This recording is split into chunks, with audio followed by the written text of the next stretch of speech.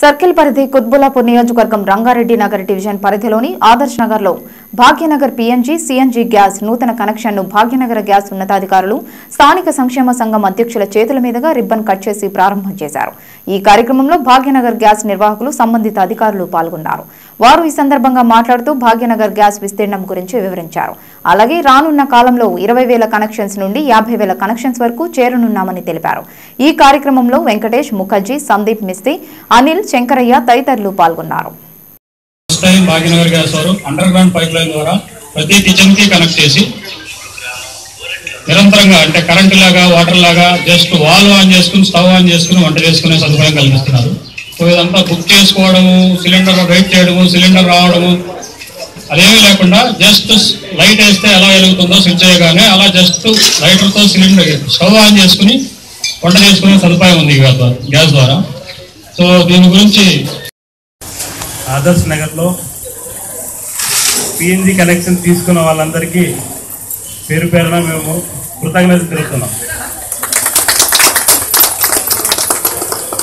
ఈ సందర్భంగా Bhagyanagar gas limited గత పది సంవత్సరాలుగా పైప్ లైన్ వేస్తూ హైదరాబాద్ షామీర్పేట దగ్గర నుంచి అయితే ఇటు కుక్కట్పల్లి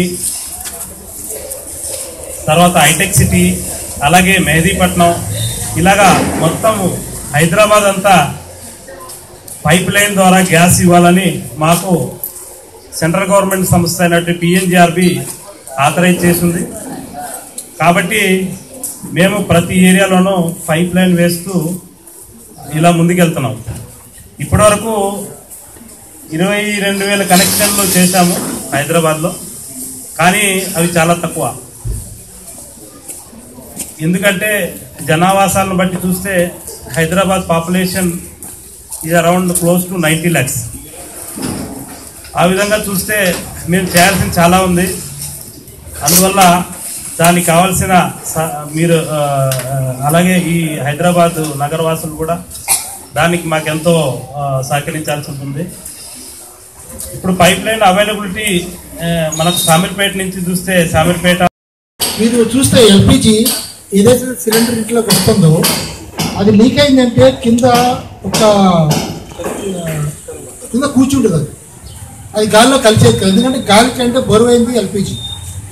అది డేంజర్ కానీ ఇప్పుడు మేము ఇచ్చే ఏదైతే న్యాచురల్ గ్యాస్ ఉందో అది గాలి కంటే తేలికైనది. లీక్ అయిన వెంటనే గాలిలో కలిసిపోతుంది. ఒక చోటు నుండి మండే క్వశ్చనే లేదు దాంట్లో. ఇప్పుడు పైప్ లైన్ అక్కడ లీక్ అయినా కానీ గాలిలో కలిసిపోతుంది కానీ అది మండే తత్వం దానికి లేదు. అది ఎప్పుడంటే ఇంకోటి మీరు గమనిస్తే ఎల్పిజి అనేది మన భారతదేశంలో లేదు. మనం వాడుకునే గ్యాస్ అది ఇంపోర్ట్ చేసుకుంటున్నాం మనం. దుబాయ్ నుంచి సౌదీ అరేబియా నుంచి అది తీసుకుని మనము సిలిండర్స్లో ఫిల్ చేసి మనం ఇంటింటికి ఇస్తున్నాము దానివల్ల మన భారతదేశం నుంచి ఫారిన్ కరెన్సీ కూడా చాలా లాస్ అవుతుంది. అందువల్ల ఇప్పుడు గవర్నమెంట్ వాళ్ళు ఏమన్నారంటే మన దేశంలో దొరికే ఈ న్యాచురల్ గ్యాస్ భూమిలో నుంచి వస్తుంది కృష్ణా గోదావరి బేస్ నుంచి వస్తుంది ఇది.